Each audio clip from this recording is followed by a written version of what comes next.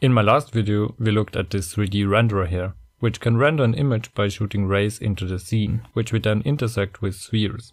And we can also move the camera around, so this was a fully functioning 3D environment. Now in this video we're going to shade the spheres, add ray traced shadows and reflections.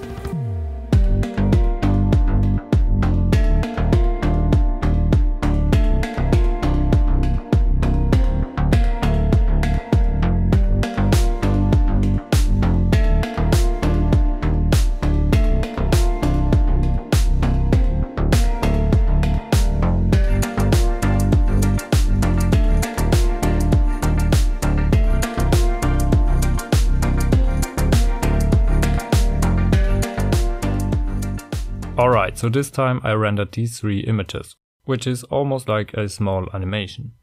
As you can see I'm now using a map display, which is a lot better than the one from my last video. But before we talk about the display, what do we actually see here? Here is a Blender simulation, which makes it a bit easier to see. We have two spheres, we have light coming from the top left, which shades both of the spheres. The top sphere is also casting a shadow onto the bottom sphere, and because this is a simple ray trace shadow, it has perfectly sharp outlines. And as you might be able to tell, the first sphere is also reflective, so it reflects the sky around it, and we can also see the other sphere inside the reflections. And inside the reflections we can also see the shadow here again, so this time we are shooting a lot more rays to calculate all of this. Let's say this here is the camera, and to calculate the color of one pixel, we first shoot a primary ray which then intersects the objects in our scene. In this case we have the first hit point right here, and now we can calculate the amount of light this point receives from the light source.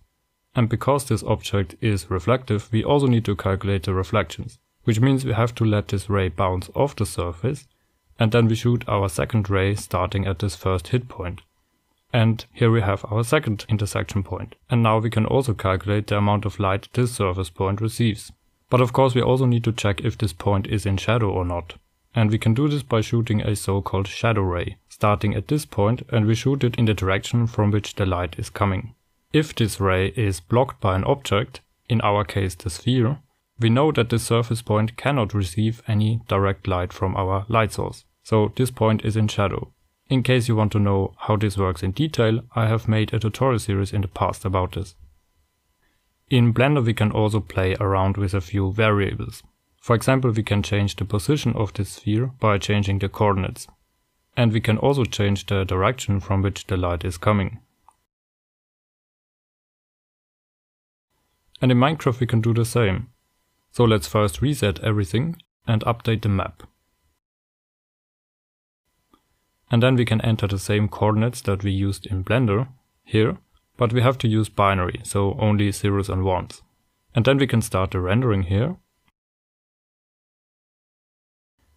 I waited a few minutes and now if we update the map, we can see that we already have two rows of our image completed. I'm using carpet mod to speed up my game, but every pixel still takes at least 30 seconds to calculate. And the whole image takes almost two days to finish, so this is still very slow.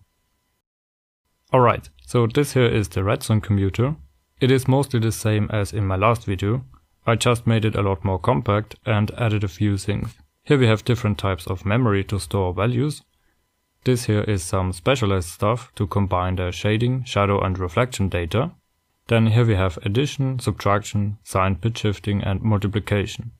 Now in my last video we also had a divider, which was this huge thing here in the back. And that's no longer here, because I wanted to try using some approximations so that this ray tracer only uses addition, subtraction and multiplication. Because there is something really satisfying about only using these super basic operations. In the end you can't even tell the difference because it's being displayed on such a bad display in Minecraft. Now all these components that I just mentioned can be controlled here. There are 50 different instructions and they are arranged in two layers on top of each other. And each of these instructions does a specific thing inside the computer when I send a pulse signal down its wire. This part here stores the program, which is basically just a pattern that describes in which order these instructions should be executed. I explained this in more detail in my last video if you're interested. Now the program has around 260 lines of code and it is structured in a way that is very similar to functions in programming.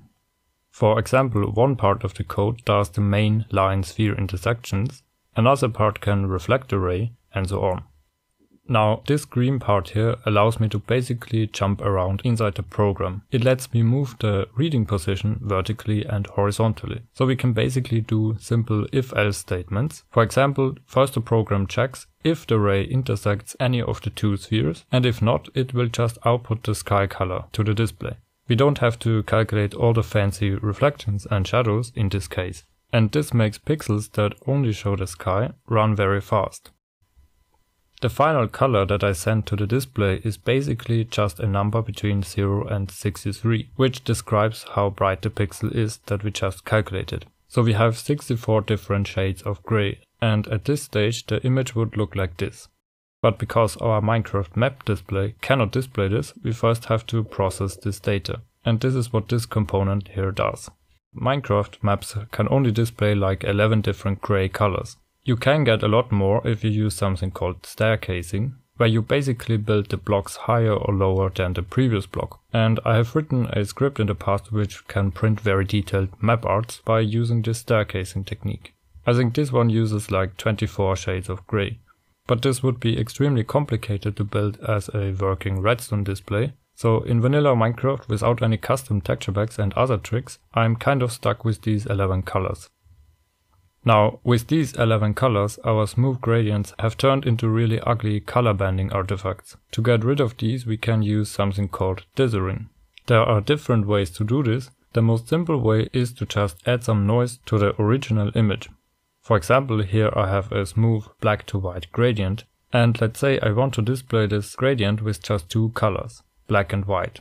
This would look something like this. If the threshold is at 50%, of course we get the border exactly in the center of the gradient. But now let's add some noise to the original image, and as you can see, the more noise we add, the better these two colors are blended together. In this case I used so-called blue noise, which looks a lot more uniform than regular white noise. And instead of noise you can also just use a checkerboard pattern. It works pretty good for low resolution images. So this part here does the dithering with a checkerboard pattern and to do that, depending on the pixel coordinates, it either adds or subtracts a certain number from the brightness value. And then finally, this part here assigns the color an index between 0 and 10. So it decides which Minecraft block best represents this brightness value. It basically does a series of greater than comparisons and I can adjust the individual thresholds to remap this gradient however I want. So I can apply all kinds of tone maps and color adjustments here at the end. The output here is a signal strength between 0 and 10, which is then sent to the display. And the display converts the signal strength to a pulse of a specific length and this pulse is then sent to the correct pixel. And inside the pixel, the pulse is converted back into a signal strength, which then activates a certain amount of pistons so that the block at the top is the color that should be visible on the map. This here is basically the module for a single pixel. It has to be very compact and most importantly, it cannot interfere with the neighboring pixels. And I also need to be able to reset all the pixels with just one signal. Another thing that I tried to simulate in this ray tracer is the so-called Fresnel effect, which is extremely important whenever you draw, paint or render anything reflective. Here we have two reflective objects, but the reflections look a bit flat and boring. This is because every pixel shows the same amount of reflections, and this is not what we see in reality. For example, the reflections on this train here are barely visible, but if we look further away, the reflections get stronger and stronger, and this also happens from another angle. We always see this gradient. And this also happens on water. If we look down, almost perpendicular to the surface, we see very weak reflections and we can see the ground below. But when we look up, almost parallel to the surface, it looks almost perfectly reflective. So we see a gradient again. So most surfaces tend to be much more reflective if you look at a shallow angle compared to a more perpendicular angle. So if we apply this effect to our example, the reflections look a bit more realistic. Near the edges, the reflections are much stronger now, and in the center they are actually weaker than before. It's not physically accurate in this case, but most of the time it actually looks better if you exaggerate this effect. And in my ray trace I also simulate this Fresnel effect. It makes this sphere look a bit more shiny than without it. Alright, in conclusion this second version of the ray tracer was quite challenging to make, mainly because I wanted to reuse as much as possible from the last version. So I had to cut a few corners, for example I ended up using an orthographic camera system, which allows me to simplify a lot of the mathematics for the primary ray intersection. Otherwise I would probably need to build all this here from scratch again, because I wouldn't be able to fit the whole program in just 280 lines of code. I also noticed some precision issues at certain light angles. And there are probably still a lot of bugs, but yeah, the whole thing is a nightmare to debug because you can only test individual pixels at a time.